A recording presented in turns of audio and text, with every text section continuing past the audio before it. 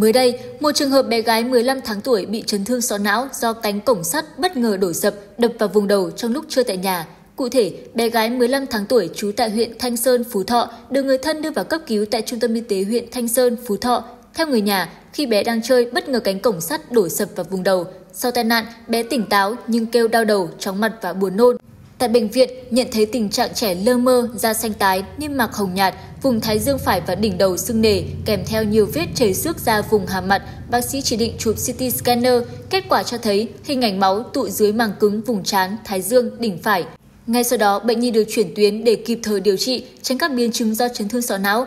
Bác sĩ chuyên khoa 1 Đinh Đại Lâm, chuyên khoa chẩn đoán hình ảnh và thăm dò chức năng Trung tâm Y tế huyện Thanh Sơn chia sẻ, tụ máu ngoài màng cứng là một thể bệnh của chấn thương sọ não rất nguy hiểm, có thể ảnh hưởng đến tính mạng người bệnh, đặc biệt là trẻ nhỏ.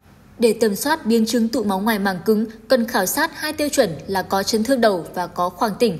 Khoảng tỉnh là khoảng thời gian bệnh nhân hoàn toàn tỉnh táo từ khi xảy ra tai nạn tới khi hôn mê. Khoảng tỉnh càng ngắn thì tiết lượng càng nặng. Khoảng 60 đến 70% khối máu tụ ngoài màng cứng đơn thuần có khoảng tỉnh rõ, xuất hiện từ vài giờ đến vài ngày, có khi kéo dài nhiều tuần hoặc chỉ trong vòng 15 đến 20 phút. Thời gian xuất hiện khoảng tỉnh tùy thuộc vào khối lượng và vị trí khối máu tụ. Khi có các vết thương đi kèm theo thì khoảng tỉnh hầu như không rõ ràng. Đôi khi chấn thương sọ não có đồn nứt sọ chỉ gây đau đầu ở mức độ vừa phải, thậm chí đau nhẹ đến mức nạn nhân chủ quan về chấn thương của mình.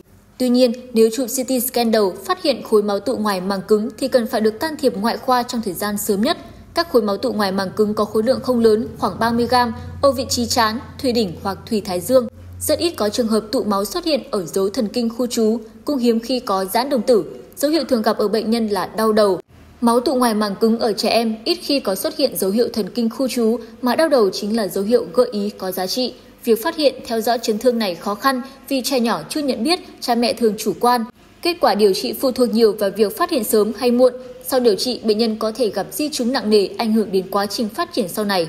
Triệu chứng chấn thương sọ não ở trẻ em có diễn biến tương đối phức tạp, có thể không xuất hiện ngay lập tức, với những trẻ chưa biết nói sẽ rất khó để nhận biết các biểu hiện, còn trẻ lớn có thể không mô tả chính xác những gì trẻ cảm thấy. Các triệu chứng chấn thương có thể kéo dài trong vài ngày, vài tuần hoặc lâu hơn sau khi va đập mạnh hoặc bị tai nạn, té ngã khiến vùng đầu bị tổn thương.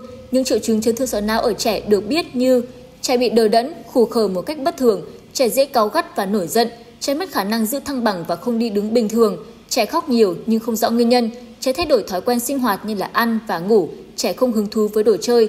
Ở những trẻ lớn hơn có thể xuất hiện các biểu hiện chấn thương sọ não ở trẻ như đau đầu, có cảm giác nặng đầu, nhức đầu, hoa mắt, trẻ mất nhận thức tạm thời, khả năng nhớ và tập trung của trẻ suy giảm, trẻ bị thiếu máu, mệt mỏi, buồn nôn và nôn, trẻ bị ù tai, nói không rõ lời, trẻ thay đổi tính cách bất thường, rối loạn giấc ngủ, trẻ bị trầm cảm và các vấn đề về tâm lý, trẻ bị mất vị giác và thính giác. Do đó, bác sĩ Lâm khuyến cáo cần chú ý tới trẻ trong sinh hoạt hàng ngày, tránh các tai nạn và va đập không mong muốn ảnh hưởng tới vùng đầu. Nếu gặp tai nạn, cần cho trẻ đến ngay cơ sở y tế uy tín để kịp thời phát hiện và điều trị, tránh gặp các biến chứng về sau.